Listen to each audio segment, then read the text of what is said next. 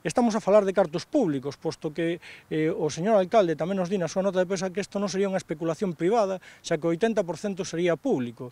Eh, quedaría hipotecado, por tanto, eh, tanto a Diputación como como, como a propia cidade eh, por anos e anos eh, para poder facer esta mega, megalómana eh, inversión que non ten absolutamente ningún sentido e que o que teñen que facer en realidade é poñerse a traballar eh, por Ourense e avanxar os problemas que, que temos no día a día e deixarse de, de ideas do Día dos Santos Inocentes.